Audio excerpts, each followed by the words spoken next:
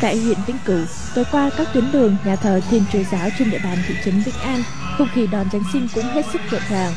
Những mảng cỏ xinh xắn, cờ hoa, đèn trang trí đủ màu sắc tại các nhà thờ và trên những con đường đã thu hút đông đảo người dân đến tham quan vui chơi.